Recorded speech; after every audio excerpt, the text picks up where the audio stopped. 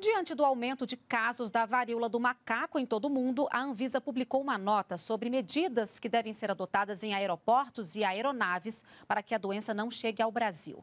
Entre elas estão o distanciamento físico sempre que possível, o uso de máscaras de proteção e a higienização frequente das mãos, que também são utilizadas contra a Covid-19. A varíola dos macacos é uma doença viral mais comum no continente africano, com transmissão moderada entre humanos. De acordo com o governo, não há casos da doença aqui no Brasil.